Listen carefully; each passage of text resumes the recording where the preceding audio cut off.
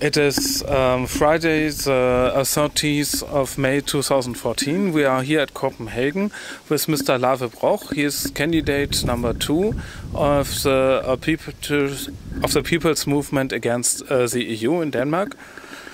Mr. Broch, um, now you have got uh, one member again in the European Parliament, mm -hmm. and um, what are the main uh, issues, uh, the main demands of, of, your platform, which you are now uh, going to um, to implement? Yes, you can say we have four pillars. The first is about democracy.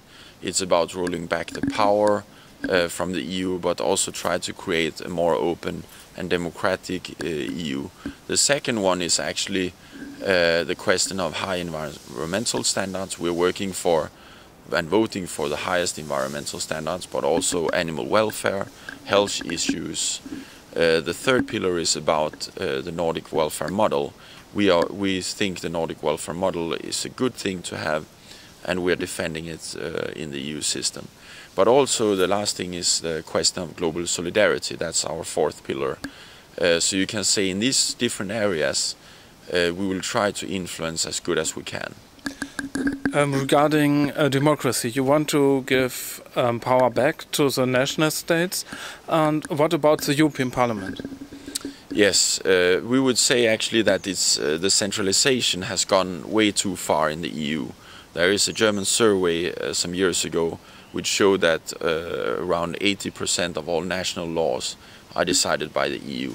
But also on local level and regional level, EU is uh, having a lot uh, of power. So we think that the time has come to roll back the power. But uh, as long as we have the EU, we think the EU Parliament is, of course, an institution which we can use. Uh, compared to all uh, other institutions, I would say that uh, I think it's really bad for democracy that the EU Commission has monopoly on making law proposals. Uh, as far as I see it, all national parliaments uh, should have the right to make uh, proposals to change the laws, also inside the EU. Uh, and uh, as a second best, it would be good that the EU Parliament could do it. Um, what is important enough uh, um, so that we need referenda on it regarding the EU? Well, we think that there should be referendum every great uh, treaty changes, uh, like the Lisbon Treaty. I think it was uh, very bad for democracy that it was uh, implemented in most countries without a referendum. Uh, the fiscal treaty, which means that EU is now having influence on all countries' fiscal policies, uh, who are part of that, of course, is also undermining democracy and should have been put to referendum but also the banking union, which is now uh, on the way, that EU can decide when banks shall be closed and so on. That must be a question that the population will be asked about. Um, regarding environmental issues, uh, where have do we have to be particularly uh, aware um, what the EU what the EU is doing regarding our environment? Well, I think we have to be aware on many different areas because EU is influencing the environment, uh, both with the agricultural policy, for instance, pesticides in the groundwater.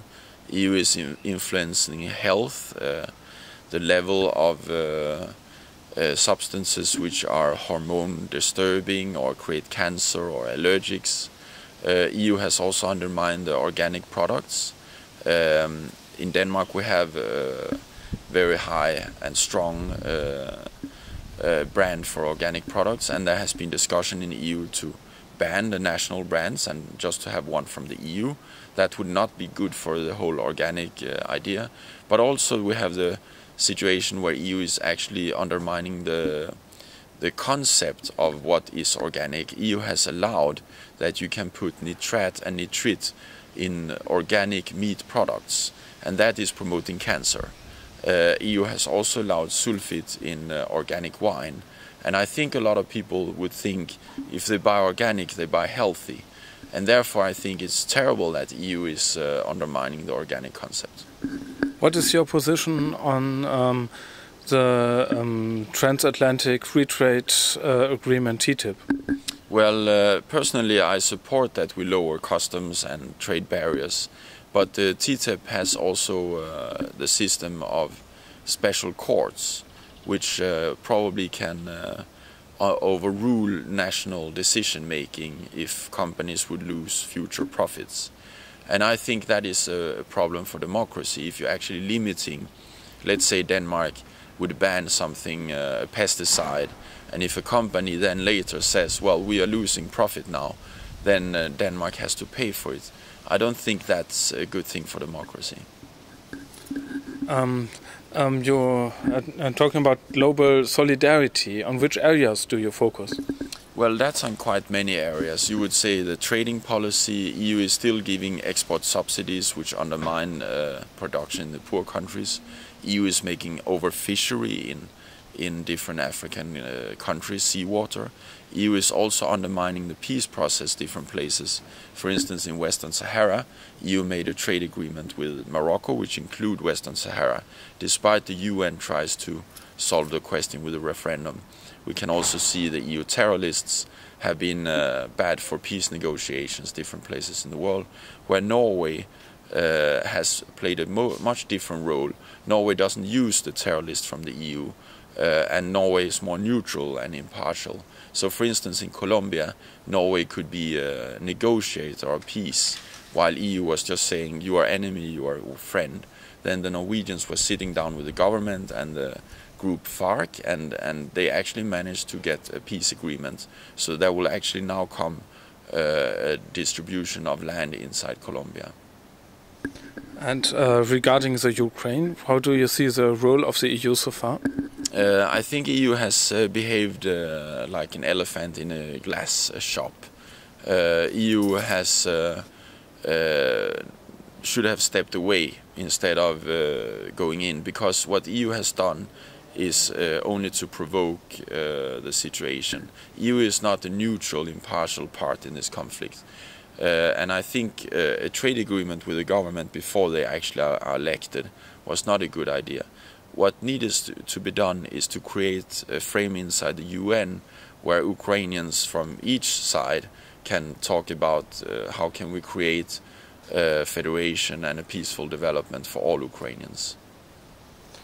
And um, if I in your platform I read that you are against EU militarization. Yes. And how far? Which? What are you opposing regarding the military and foreign policy cooperation of the EU? We think that EU shouldn't have anything to do with military. We think it's uh, there shouldn't be a defense policy at all, and I'm happy that Denmark is not part of the EU defense policy. But when we look at it, we can see EU is one of the biggest trading uh, weapon traders in the world. EU has a defense agency in Brussels which support the arms industry. The arms industry are selling weapons to countries which constantly violate human rights. Uh, but we also see that the EU is behaving, as I said, uh, in a way in different conflicts where they are worsen the situation. In Sri Lanka, for instance, the, the Nordic countries were having a peace mission and Norway was also trying to negotiate peace and the EU put the Tamil Tigers on a terror list, which actually was part uh, one of the main reasons the whole peace process was ruined, and it ended up in a in a manslaughter in in Sri Lanka. So what we see is actually that the EU is looking at own interests in many conflicts in the world, thinking about money instead of thinking about how to create peace. And I think the Nordic countries, Denmark, and together with Norway and other Nordic countries, should promote peace in the world and not uh, only support building up a new superpower. Um, you have um, you want to protect uh, the Nordic um, uh, welfare model. Um, in how far uh, might this be undermined by the EU? Well, we can see, as I said, with the fiscal treaty, that EU is uh, deciding and giving advices to all countries or or uh, demands to the countries how to act and EU doesn't have the same focus on fighting unemployment and there is not the social side of EU which you know in the in the Lisbon Treaty it's written that all member states have to increase their military capabilities but there is not written that all countries have to increase their uh, schools or the hospitals or uh, other things like this so uh, we can see that there is a focus which is on price stability. Uh, there is actually now 120 million people in the EU who are either poor or close to poverty. Uh, and and there are 26 million unemployed. I think here we have a great uh, problem that the EU is is focusing uh, not on questions which we would do in the Nordic welfare system. Um, just uh, let's have uh, um, the, um, look at the Bilderberg conference, which has yes. started uh, yesterday and which is um, going on until Sunday here in Copenhagen. Yes. Um, all inter alia, the former Danish Prime Minister, Mr. Uh, Anders Fogh Rasmussen, is there, and um, many people from Danish economy, from uh, also from Danish uh, media. Um, what um, is your opinion about um, well networks like Bilderberg? Well, uh, I think that people can always meet privately if they like so, but if they meet as politicians and and uh, important civil servants like Anders Fogh Rasmussen, uh, and they act outside their private uh, role, there should be openness. And we know that in Bilderberg uh, conferences, a lot of things which has to do with our country's development and the whole world's development uh, is being discussed. And uh, I think that that is uh, happening in closed meetings where you cannot report what people are saying is a problem for democracy. And I think also that uh, we should demand more openness about this. The whole system of Bilderberg is actually undermining also that we have open frameworks inside the UN uh, I think that would be much better if they would make the same discussions with access to civil society, to the media um, inside the United Nations instead of having these uh, closed clubs. Many things. Thank you very much.